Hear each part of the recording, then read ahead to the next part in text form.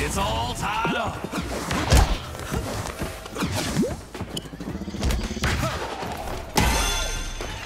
Green takes the lead.